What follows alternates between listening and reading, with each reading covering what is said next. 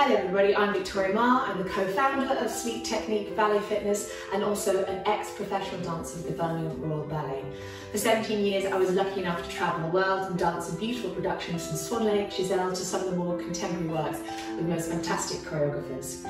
In this classical ballet technique program I've put together for you, we run through a series of classes that has beautiful repetition from one day to the other so you build confidence in the classical basics, but also progresses gradually so you start to move and increase your classical knowledge.